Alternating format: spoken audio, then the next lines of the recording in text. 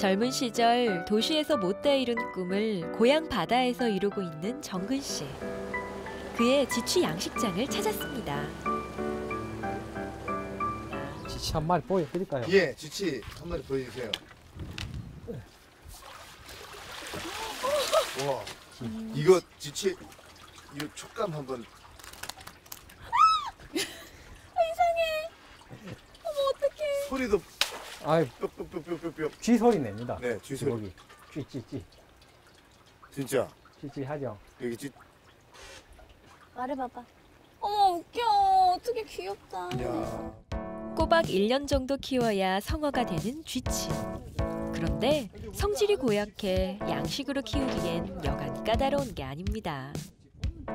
1년 동안 좋은 것만 먹여가며 자식처럼 키운 쥐치를 명환 씨와 하영 씨를 위해 내놓는 정근 씨. 쥐치는 살이 쫄깃하고 단맛이 나는 게 특징인데요. 좋은 식감을 위해 두툼하게 슥슥 썰어서 접시 한쪽에 가지런히 담아내고요. 양식장에 제 발로 들어온 도다리도 회로 맛보기로 했습니다.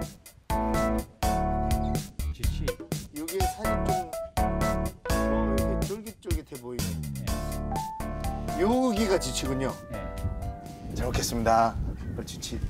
예. 요 요것도 예. 지치죠? 예. 이게 지치.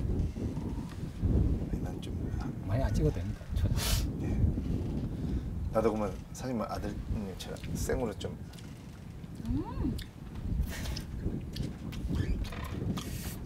이 쫄깃쫄깃 이 쫄깃쫄깃함에 정말 어, 진짜 비린 맛이 하나.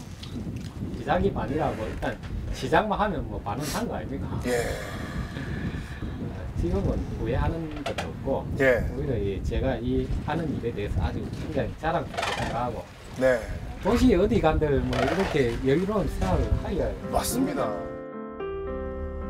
정근 씨에게 물심양면으로 풍요를 가져다준 바다. 그리고 법동 앞바다 한가운데는 마을 어민 모두에게 부를 가져다준 복덩이가 있습니다. 이 마을에는 총 7개의 해상 콘도가 있습니다. 관리는 정근 씨가 도맡아서 하고 있지만 여기서 나는 수익은 마을 어민들에게 공평하게 돌아간다는군요. 와 드디어 해상 펜션에 도착한 거죠. 나는 이 낚싯대. 낚싯대. 예. 예. 와. 아니 여기서 낚시하면 고기도 잡히는 거잖아요, 예. 그죠? 예. 야, 저는 여기서 오늘 기필코 대어를. 예. 아니 일단 나는 샤워가 또 가능하다니까 너무 예. 궁금하니까 한번 네네. 올라가 보시죠. 저는 뭐 아까 멀리서 봤을 때는 이렇게 큰 줄 몰랐거든요. 네, 가까이 오니까 우와, 와. 이쪽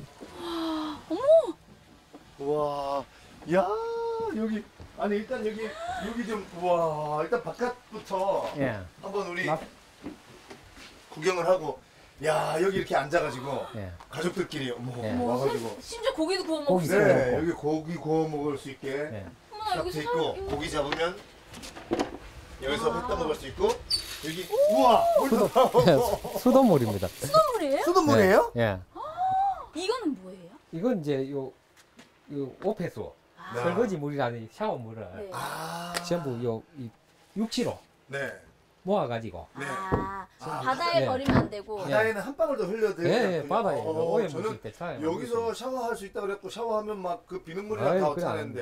여- 여기는 아. 우리 청정 해역이기 때문에 네 그래서 바다에 이런 이제 오물을 그대로 흘려내- 모아갖고 예, 다시 또 육지로 이대로 가서 이제 밑으로 네 배관이 다 연결되어 있습니다. 아. 그래서 저기 육지 저가족까지 전부 펌핑해서 보내요. 오. 이야 자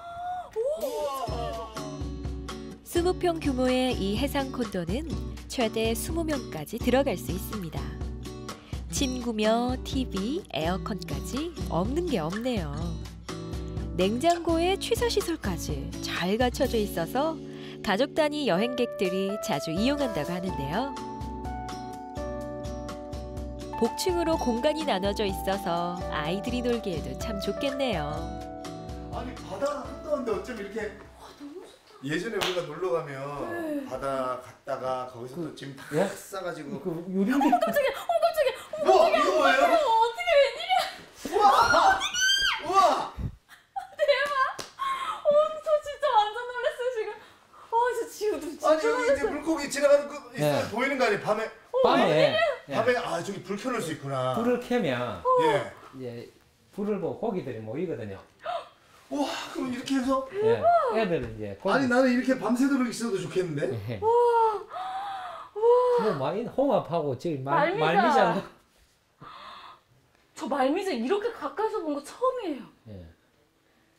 와 아니 나는 욕심 나는 게 이거 걷어내고 아. 이렇게 낚시를 이렇게 안방에 앉아서 열고 로망이시죠 로망. 집게로 열고 예, 앉아가지고 낚시도 하고. 야 아니 진짜 아, 저는 이거 보면서 와 진짜 바, 이 바다 네, 밖에가 그냥- 너무 좋다 했는데 세상에 바다 속을 볼 수가 있어. 아니 이거는 사실 어디 우리 외국에 몰디브나 뭐 이런데 맞아 맞아요. 그런 사진 네 보면 맞아 맞아. 방 안에서 뭐 바닷물을 볼 수 있고 이런데 아니 멀리 안 가도 되네요. 예. 아니 대한민국에 이런 곳이 있었는데. 거제에 오시면 그냥 이름 모를 어촌 마을이었던 이곳에 사람들의 발길을 불러 모으고 있는 법동의 효자 해상콘도. 명환 씨의 못 말리는 낚시 사랑은 여기서도 계속되네요. 손맛을 보기 위해 계속해서 낚싯대를 던져보지만 눈먼 고기가 없는 건지 실력 발휘가 안 되는 건지 어쨌든 거제 법동에서의 하루는 이렇게 저물어 갑니다.